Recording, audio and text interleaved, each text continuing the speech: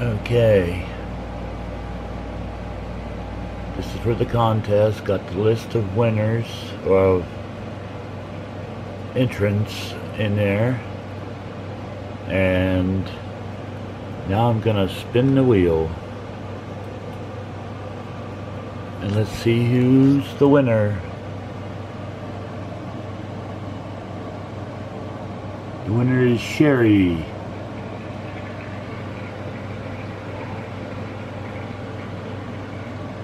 Congratulations, Sherry. I'll get to work on reading your fortune here as soon as I can.